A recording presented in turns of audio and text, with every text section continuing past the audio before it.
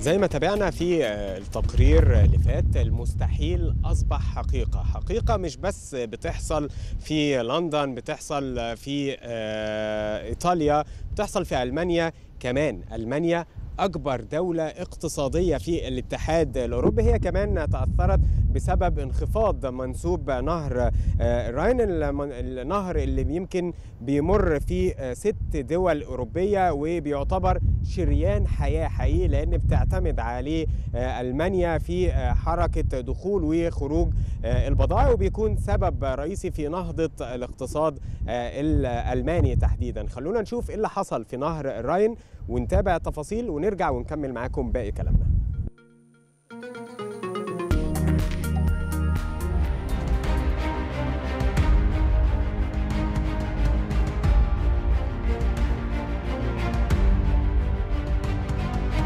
نهر الراين في ألمانيا وهو شريان الحياة والتجارة الداخلية في ستة دول أوروبية مهدد بالجفاف الدائم بعد انخفاض مناسيب المياه.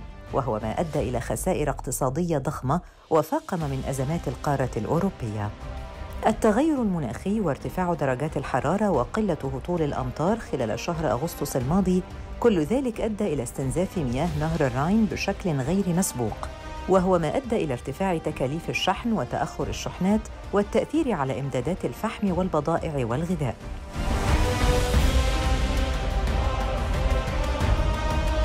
العديد من السفن والقوارب الخاصة بنقل المواد الخام والمنتجات أصبحت غير قادرة على العبور من وإلى محطات الطاقة والمصانع.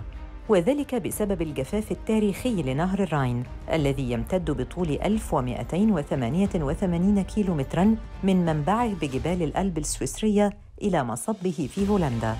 ويعد ممراً مائياً أساسياً لنقل السلع من أكثر مناطق الصناعات الثقيلة بأوروبا.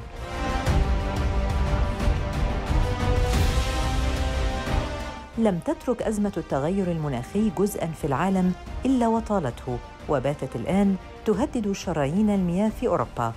بعد أن سجلت القارة العجوز درجات حرارة قياسية تسببت في تبخر مياه أنهارها الكبيرة.